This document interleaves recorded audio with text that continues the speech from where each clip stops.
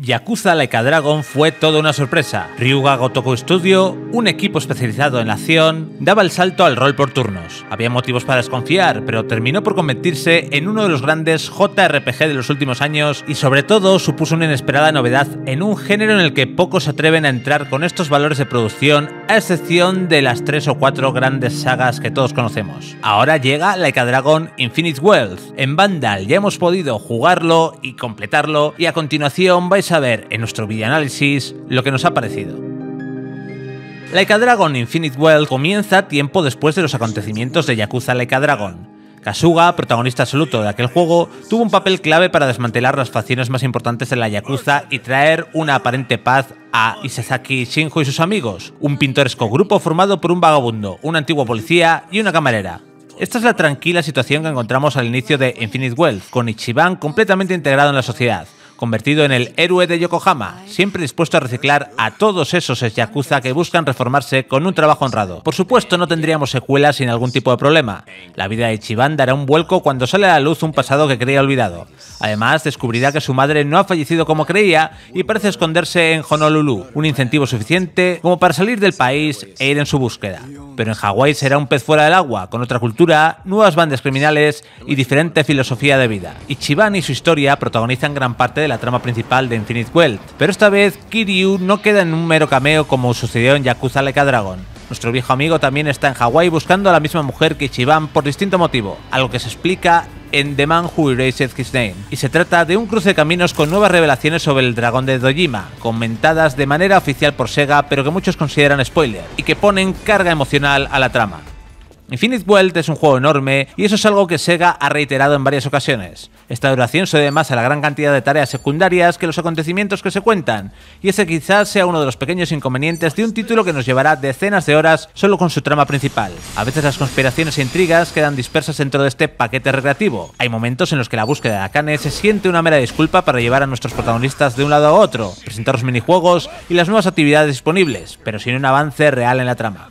Por cierto, huelga decir que es imprescindible jugar antes a Yakuza Like a Dragon y la mayoría de juegos protagonizados por Kiryu. De lo contrario, cada revés de nuestros héroes perderá impacto y es que Infinite Wealth, sin revelar nada más de lo esencial, estará pensado para conmover a jugadores veteranos y aquellos que se engancharon a la saga con Ichiban. Kiryu tendrá sus momentos para ser la estrella del show con un arco que ningún fan debería perderse. Los viejos Yakuza han avanzado paso a paso con cambios en el sistema de combate, no necesariamente rompedores, pero modernizaron la acción hasta llegar a The Man Who His Name y Last Judgment.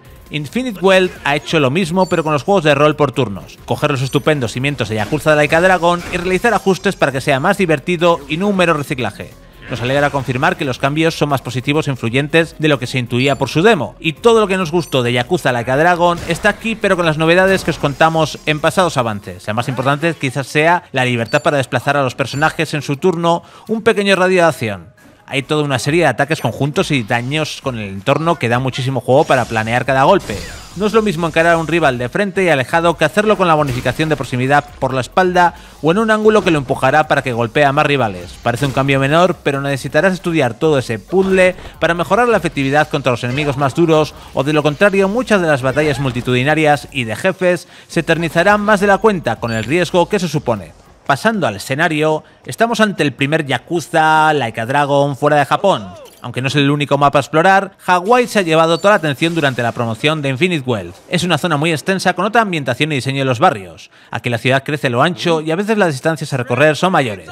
Es todo lo opuesto a Kamurocho y Sontenbori, que son más manejables y densos. Lo que vamos a encontrar en estas calles es el carro de contenido de todo Yakuza. Muchísimas subhistorias, gente con problemas de diverso tipo, e incluso si no eres completista obsesionado con sacar el 100%, conviene desviarse de la trama principal de vez en cuando para mejorar a tus personajes. Nunca es tiempo mal invertido. Hay una cantidad ingente de actividades que hacer, desde los coleccionables más típicos a la escucha de conversaciones con los amigos para rellenar un bingo de amistad, los locales de karaoke, sumar decenas de amistades humanas y animales, quedadas para tomar una copa, partidas de shogi, retos fotográficos, reciclaje de basura o los recreativos con Sega. Puede que no pases más de 5 minutos con todo un Virtua Fighter, Spike Out o Sega Bass Fighting, pero son regalos para cualquier seguero que se precie. Además, en Infinite Wealth hay toda una serie de grandes minijuegos tan grandes que podrían dar lugar a sus propios spin-off independientes De algunos de ellos ya hablamos en anteriores avances. Por ejemplo, hay un laberinto en un edificio en construcción que viene a ser un modo roguelite, una mazmorra aleatoria con recursos exclusivos, dificultad creciente y personajes a los que rescatar. Es una buena manera de subir el nivel cuando notas que tus enemigos van un poco por encima del tuyo, y nos ha gustado más que las mazmorras subterráneas de Yakuza Like Dragon.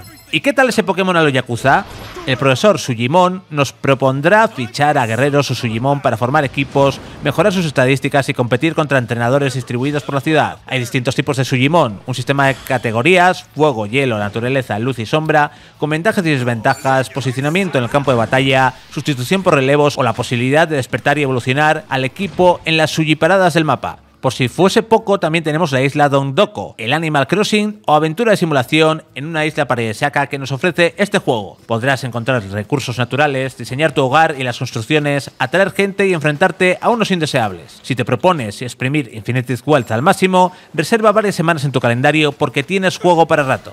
Para ir terminando con este vídeo, vamos a responder a la pregunta de si Infinite Wealth es el mejor Yakuza Like a Dragon. No es fácil responder porque la trama no se pone realmente interesante hasta la mitad del juego y esto es algo que otros juegos de la saga gestionan mejor. Lo que está claro es que en gameplay es superior a su predecesor y no se ha limitado a aportar un extenso mapa con una cantidad de actividades opcionales no vista en la saga de Yakuza 5. Las novedades en sistemas de combate y comodidad general son bienvenidas en una aventura que nos entretendrá durante varias decenas de horas, centenares, si así lo deseamos. Ichiban y sobre todo Kiryu merecían un juego tan ambicioso como Like Dragon Infinite Well, toda una montaña rusa de emociones que con sus más y sus menos se convierte en un viaje inolvidable para algunos de los mejores personajes que ha creado Sega.